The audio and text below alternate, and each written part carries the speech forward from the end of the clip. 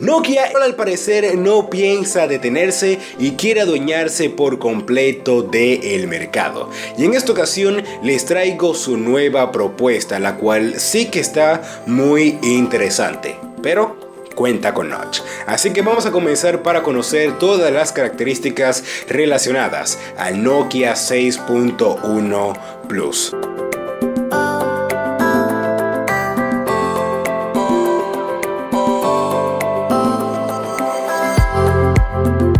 Vamos a comenzar hablando acerca del el diseño de este dispositivo y como podemos ver es muy pero muy semejante como quien dice el hermano gemelo de el Nokia X6. Como pueden ver encontramos un smartphone con una pantalla de 5,6 pulgadas con tecnología Full HD Plus y un ratio de 19,9 por causa de su notch. Bueno, si el año que viene continuamos con esta tendencia, lamentablemente voy a tener que acostumbrar a ella, ya que hay muchos smartphones con características realmente llamativas y no me voy a limitar solo por esta muesca. Y lo mejor de todo es que en Android ya podemos ocultarla, pero se está desaprovechando un gran espacio de pantalla. Y en cuanto a la cámara frontal de este dispositivo podemos encontrar una de 16 megapíxeles y ya en cuanto a su cámara dual principal es de 16 más 5 megapíxeles y esta cuenta con una apertura de 2.2. Y en el tema de los internos vamos a poder encontrar en este teléfono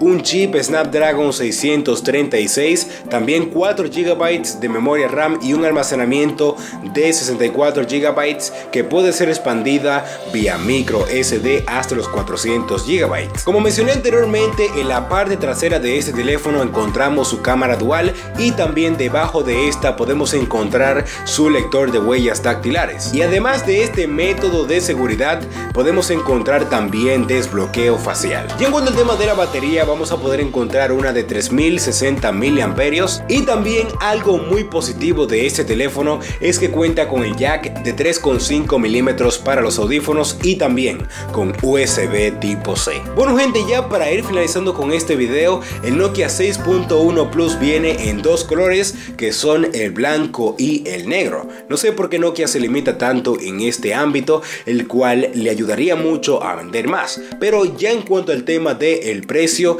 este teléfono viene a un precio base de 290 dólares el cual desde mi punto de vista deberían de rebajarlo un poquito más por lo menos a 200 o 190 dólares y sería espectacular pero no vamos a negar que es una muy buena propuesta en un teléfono gama media baja Así que me gustaría que comentaran aquí debajo qué opinan ustedes acerca de este Nokia 6.1 Plus. Y bueno gente, esto ha sido todo por esta entrega. Recuerda dejar tu like, compartir y suscribirte en este gran canal ya que semanalmente estamos subiendo videos de tecnología.